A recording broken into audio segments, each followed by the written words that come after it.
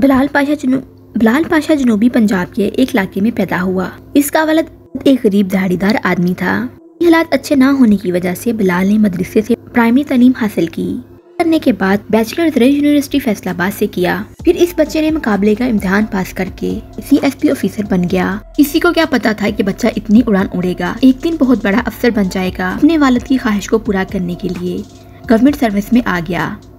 Police में sub inspector भर्ती हो गया। फिर टाइम के साथ साथ इसने सी एस एस पास कर लिया। बिलाल ने अपने वालद के साथ एक इंटरव्यू दिया, जिस इंटरव्यू में इसने आम लोगों को मोटिवेट किया और बताया कि सी एस एस सिर्फ़ लीड क्लास के लोग पास नहीं कर सकते, एक आम आदमी भी पास कर सकता है। बिलाल की मौत की वजह डिप्रेशन बताई जा रही है। सुनने में आ रहा है कि बिलाल जिससे भी मिलता था, उससे कहता था कि वो नौकरी छोड़ देगा या फिर खुदकुशी कर लेगा। सर्विस से मिलने वाला डिप्रेशन बिलाल की मौत बन गया।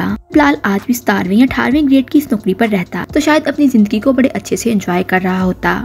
आज उसकी मौत न होती। अपने ख्वाबों के पीछे नहीं भागना चाहिए। कुछ ख्वाब हमारी पहुँच से बड़े होते हैं, जिनको हम सिर्फ़ देख सकते हैं, पूरा नहीं कर सकते। ऐसे ख्वाबों का क्या फ़ायदा जिसमें ज़िंदगी चली जाए? इंसान जितनी बड़ी पोस्ट पर जाता है, इतनी बड़ी सिफारिशें उतने बड़े वो नाजायज काम जो वो नहीं कर सकता, जिसे उसका ज़मीन इजाज़त नहीं देता। फिर भी उसे किसी के प्रेशर पर करना पड़ता है। अल्लाह बिलाल को जन्नतुल फिरदौस में आला मकाम अता फरमाए। वीडियो अच्छी लगे चैनल को लाइक शेयर और सब्सक्राइब ज़रूर करें और बेल आइकॉन को ज़रूर प्रेस करें ताकि मेरी हर आने वाली वीडियो आप तक पहुँच सके। मिलते हैं एक और नई वीडियो के साथ। तब तक के लिए गुड बाय